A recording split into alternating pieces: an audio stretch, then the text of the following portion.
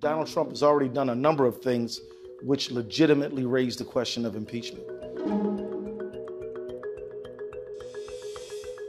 This energy is, is electric. January 20th was undeniably an important day, but January 20th and 21st and beyond was even more important because people are rising up and saying, Donald Trump, you do not stand for our values. As the only person that day who, as of that day, was a candidate for DNC chair, who actually went to the Women's March, I can tell you that the energy there was extraordinary, and it speaks to what millennials want most which is something you want to be part of, something positive. Are we saying that voting machines were rigged for Hillary Clinton over Bernie Sanders. Sam, is that what you're saying? The system in of itself is not transparent. I've been saying that since day one.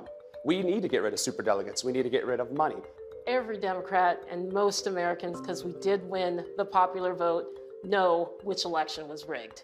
What does that mean that the election was rigged? Are you saying if that the there president was did not one win the election? vote that was influenced by Russian meddling, that was cheerleaded on by this man in the White House, then that election was influenced by a foreign government.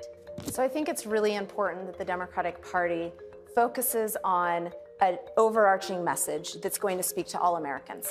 The reality here is that all of us are probably going to do the same thing if elected chair, getting the party working again at a local level.